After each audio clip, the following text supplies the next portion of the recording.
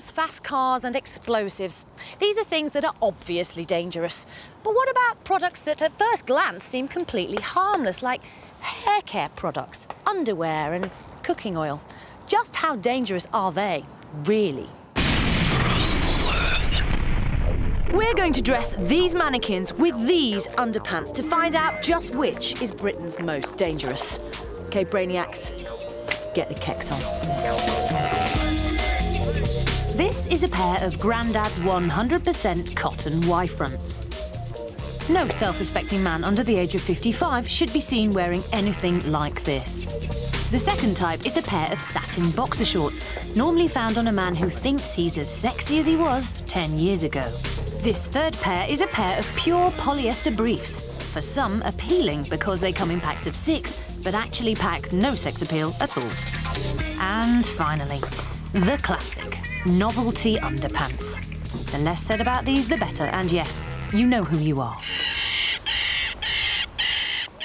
The way this experiment will work is by attaching this slow-burning ignition cord to the underpants. The cord will then be lit, and we'll see which pair is the first to go up in smoke. OK, is everybody clear? Stand back. Three, two, one, ignition.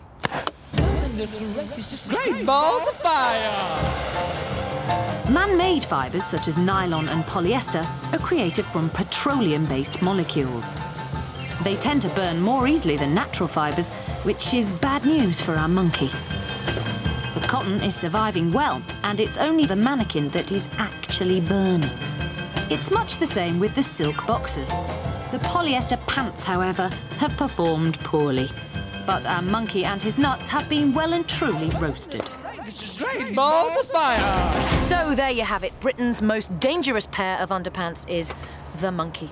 And just remember, next time you're out shopping for briefs, the old barbecue rule. A burnt sausage is no good to anyone.